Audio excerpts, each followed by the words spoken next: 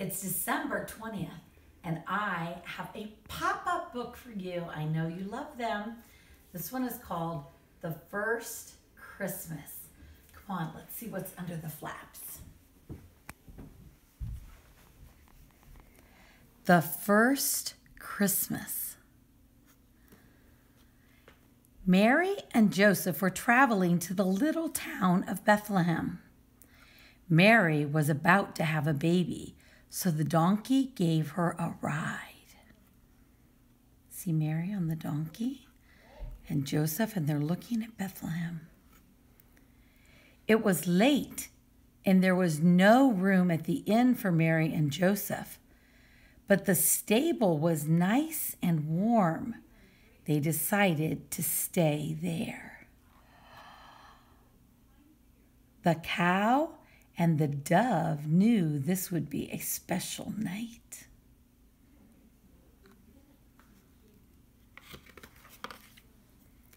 Three wise men saw a bright star over the little town of Bethlehem. They knew something wonderful was about to happen, so they followed the star. Let's count the wise men one, two, three.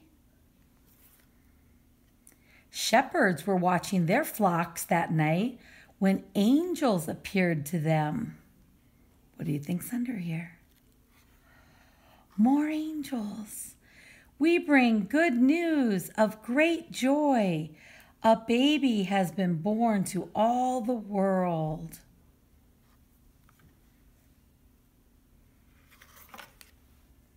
And so the bright star pointed the way to the little town of Bethlehem and to a warm and welcoming stable.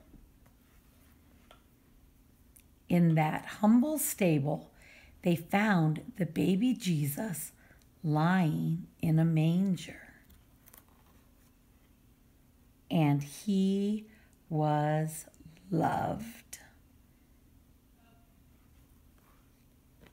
The end. I love that book.